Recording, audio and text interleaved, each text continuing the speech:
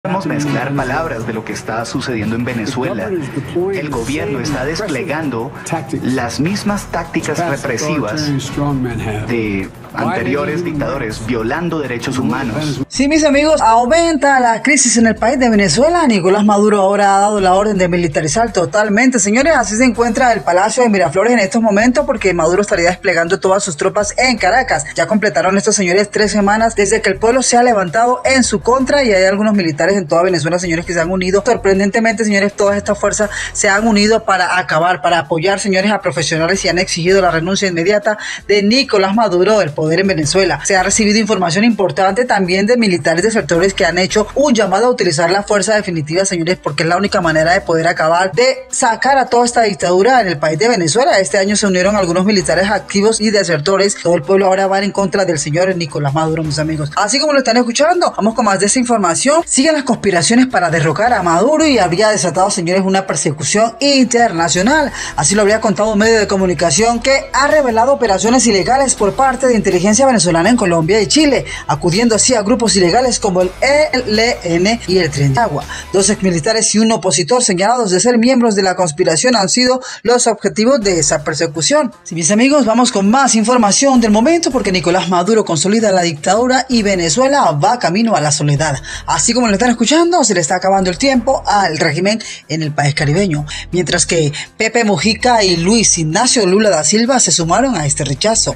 A la dictadura en Venezuela se le están viendo claramente las costuras. Esa es la manera como los analistas describen otra realidad cada vez más innegable y el nepotismo y la tiranía de Nicolás Maduro para aferrarse al poder tal y como lo hizo Hugo Chávez. Jugarse la presidencia en unas elecciones en las que se respeten los derechos políticos y las garantías electorales no es una opción que contemple el régimen de Nicolás Maduro, mucho menos ante la presunta derrota que anunciaron los resultados de las primarias opositoras en el mes de octubre pasado, en las que María Corina Machado obtuvo una importante votación, mis amigos. Así como lo están escuchando, continuamos con más noticias. Y continuando con más información de Venezuela, el régimen de Irán respaldó el cuestionado proceso electoral en Venezuela marcado por la persecución e inhabilitación de opositores. La República Islámica volvió a mostrar su estrecho vínculo con la dictadura de Maduro en medio de una ola de repudio de diversos actores internacionales por la falta de garantías democráticas, las constantes irregularidades en el proceso electoral venezolano provocaron una fuerte condena por parte de la comunidad internacional contra la dictadura de Nicolás Maduro. Incluso países que en los últimos tiempos mantenían estrechos vínculos con el régimen chavista como Brasil y Colombia también alzaron su voz y expresaron su preocupación por falta de garantías democráticas. Sin embargo, Maduro todavía cuenta con un puñado de aliados incondicionales como Irán, Rusia, China, Cuba y Nicaragua, señores, nada más y nada menos. Este domingo fue el régimen iraní que el que reiteró su respaldo a la dictadura venezolana. La República Islámica de Irán ha expresado su firme apoyo al proceso democrático de elecciones y a las instituciones constitucionales de Venezuela y rechaza injerencia estadounidense en los asuntos internos de este país. Expresó en sus redes sociales Nasser Kanani, portavoz de la Cancillería persa en sus redes sociales. Agregó además que la República Islámica de Irán considera que para respetar el derecho de la soberanía nacional y el derecho de las naciones a participar en el proceso político, todos los países deben brindar el acompañamiento y el apoyo necesario al proceso legítimo y legal de elecciones en Venezuela. Este mensaje se da dos días del apoyo al proceso electoral venezolano expresado por el régimen de China. Respetamos la independencia nacional y la soberanía de Venezuela. Apoyamos a Venezuela en el avance de las elecciones del acuerdo con su constitución y leyes, declaró el portavoz del Ministerio de Relaciones Exteriores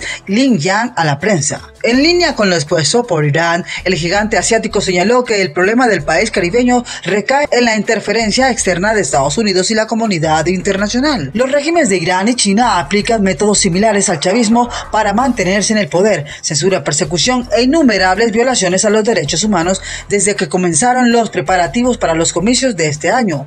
El régimen venezolano solo ha violado e incumplido sus obligaciones. Así es, su primer momento se negó a levantar la inhabilitación para ejercer cargos públicos sobre María Corina Machado, la líder de la oposición, y por el contrario ratificó su decisión. Washington criticó este impedimento y apuntó que va en contra de unas elecciones competitivas e inclusivas que el pueblo venezolano y la comunidad internacional consideran legítimas. De la misma forma se expresaron otros actores como la Unión Europea y varios países de la comunidad internacional, hasta Colombia y Brasil, cuyos presidentes Gustavo Petro y Lula siempre han mantenido una estrecha relación con Maduro, expresaron su preocupación por las irregularidades que se están respirando en Venezuela, mis amigos.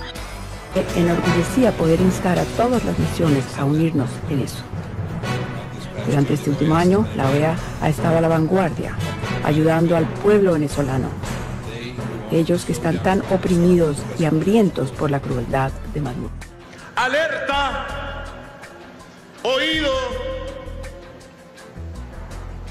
máxima alerta frente a las conspiraciones de la traición que viene de Bogotá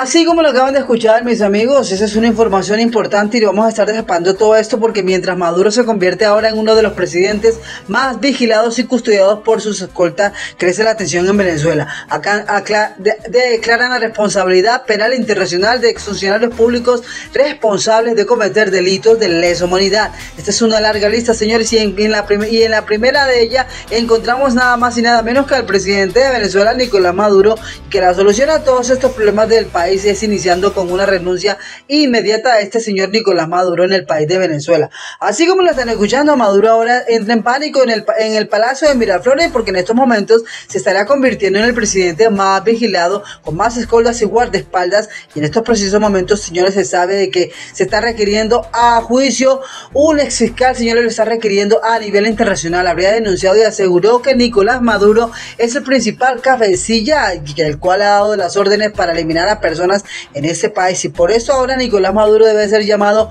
a juicio.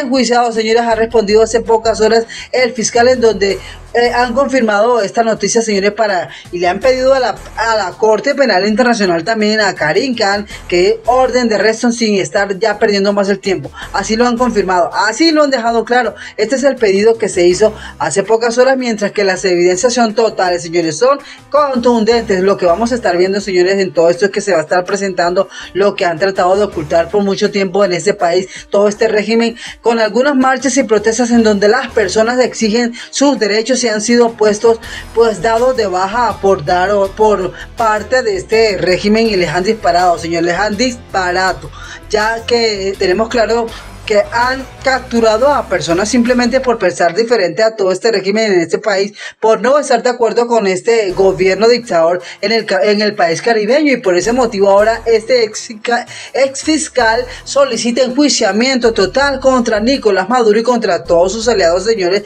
de este régimen dictador en este país. Con nombre propio señores como lo acaban de escuchar hace algún momento han solicitado que Maduro debe ser enjuiciado lo más rápido posible. Ahora empieza señores como es como lo escuchan crece la tensión, aumenta la tensión en el país de, Venezuela a nivel internacional porque empieza la cuenta regresiva, empieza la cuenta regresiva, señores, Nicolás Maduro se encuentra preocupado por todas estas investigaciones por parte del fiscal de la Corte Penal Internacional, Karim Khan, porque ya le advirtieron al fiscal que no pierda más su tiempo y que ya empieza a dar opciones de captura. Eso lo han dejado claro. Sabemos en esos momentos que Maduro, sabemos en esos momentos que Maduro estaría dispuesto a entregar a cualquiera de estos y a cualquiera de sus aliados, señores, para tratar así de ganar como más tiempos, mientras ya en esos momentos se lo persiguen a nivel internacional, directamente la Corte Penal Internacional. Como lo dijo el fiscal, la OEA debe intervenir y debe hacerlo militarmente si es necesario,